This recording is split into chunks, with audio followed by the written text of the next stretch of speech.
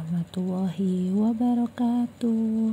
Hai hai hai Balik lagi dengan aku Bu Umar Channel. Hai konco youtube Ya apa kabare?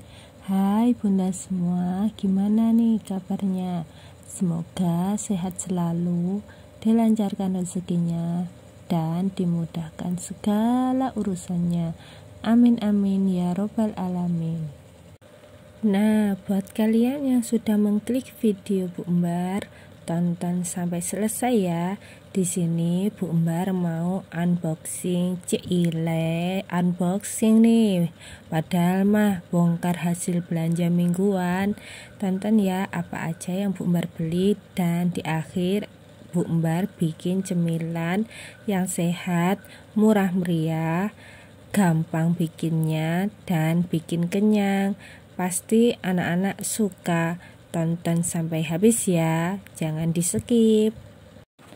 Oh iya, kalau bunda-bunda semua tim yang belanja mingguan gini atau tiap hari yang ke tukang sayur, komen ya di bawah. Dulu sih Bu Mbari juga belanjanya tiap hari ke tukang sayur, tapi setelah nonton YouTube dari Bunda Tiara, Bunda Arfan, terus dari Mak Fitri, Bunda Rifki Erin, Bumbar jadi terinspirasi buat belanja mingguan gini.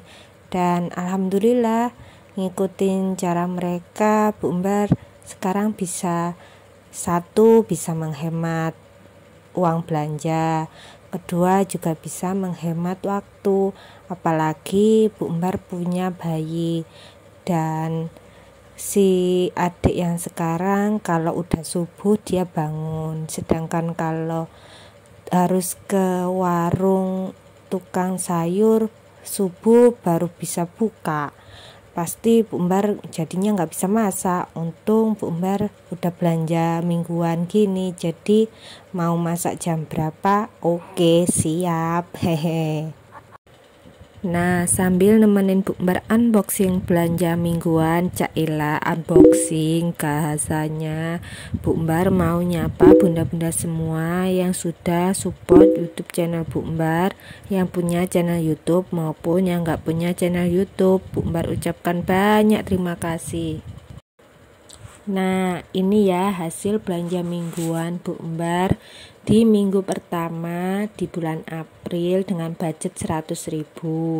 Untuk yang pertama, Bu Embar beli tahu 5.000, mie kuning telur 8.000, kacang 3.000, sawi putih 3.000, terong 2000, labu siam 2000, sop 4000 dua bungkus labu siam 2000 telur setengah kilo 11000 ikan asin seperempat kilo 10000 tempe 4000 tomat 3000 cabe 5000 dan beli bawang merah seperempat 8000 lanjut sekalian Bu Umbar beli jajan buat anak-anak biar dapat harga murah dan nggak bolak-balik ke warung Bu Umbar beli sebanyak itu 4 renceng 20.000 Nah lanjut Bu Umbar mau bikin cemilan buat anak-anak.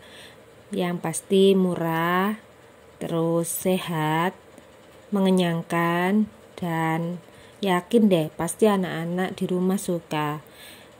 Di sini Bu Umbar pakai air 200 ml, susu kental manis 2 saset, susu bubuk 1 saset, jagung ini yang jagung satu minggu kemarin Bu Umar lupa nggak Bu Umar masak rencana mau bikin bakwan tapi nggak jadi. Nah oke okay, Bu Umar olah aja buat cemilan. Lanjut tadi ada tepung maizena dan margarin Nah, langkah awal jagungnya Bu Umbar kukus dulu 15 menit biar empuk. Lanjut Bu Umbar kasih margarin 1 sendok makan atau sesuai selera. di sini Bu Umbar pakai jagungnya tiga biji ya nah terus Bu Umbar campur aduk-aduk dulu biar merata biar gurih ini tuh ceritanya terus Bu Umbar tambahin susu kental manis satu saset biar lebih manis kayak Bu Umbar ya gombal lagi nih Bu Umbar Nah, setelah susu kental manisnya dimasukkan ke jagung, jangan lupa untuk diaduk lagi ya biar tercampur rata. Nah, di sini Bu Embar sengaja sering banget bikin cemilan biar anak-anak lupa untuk jajan di warung atau toko-toko. Ya biar sekalian menjaga jajanan anak-anak hemat uang jajan juga sih. Nah lanjut Bu Umar masukkan air 200 ml tambah susu kental manis satu, satu saset. Aduh belibet Bu Umar ya kalau ngomong.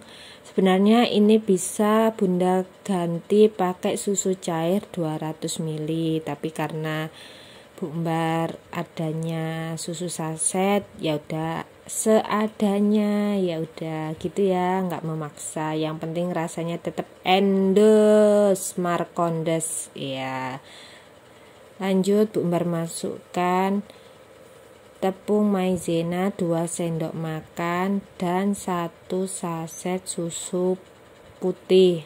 Di sini Bu Umbar pakai merek Denko dan sesuai selera bunda mau pakai susu bubuk merek apa oke? Lanjut diaduk sampai tercampur dulu ya karena ini ada tepung maizena takutnya nanti menggumpal dan malah gosong.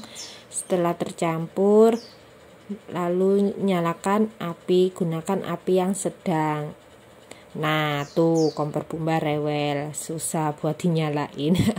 Maklum kompor dari tempat kerja Pak Su barang rosok Alhamdulillah masih bisa digunakan meskipun agak rewel.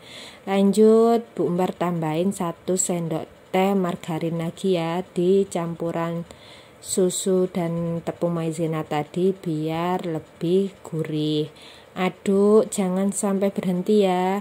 Jangan putus-putus kayak cinta kita ya. Biar enggak gosong ya karena ada tepung maizena nanti bawahnya kalau nggak diaduk terus-terusan nanti bakalan gosong.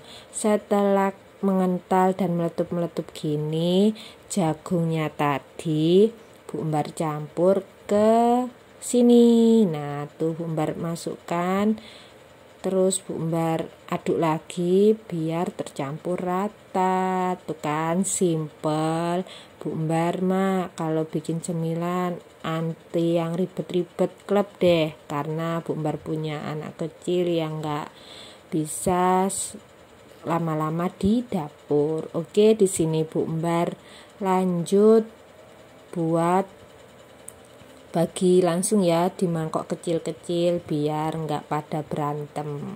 Karena punya anak kecil kadang masalah kecil dibuat berantem yang bikin kadang emosi para emak-emak gini naik pitam.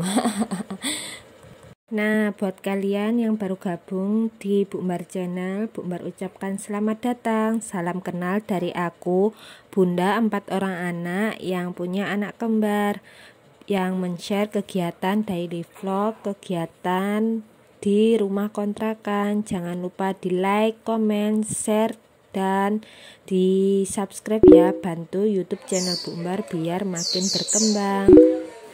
Nah tuh masih panas juga udah disantap tuh sama Mbak Zian Nah kan mereka suka Alhamdulillah jadi Bu Umar semangat deh kalau bikin cemilan dan anak-anak suka. Itu ada keponakan Bu Umbar lagi main di rumah.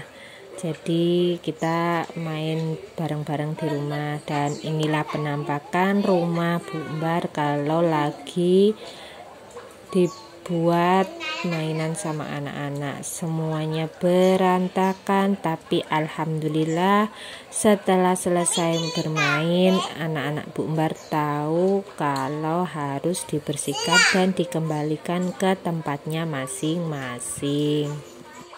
Oke cukup sekian video Bu Umbar kali ini. Jika ada salah kata Bu Umbar mohon maaf. Bu Umbar akhiri dengan Wassalamualaikum warahmatullahi wabarakatuh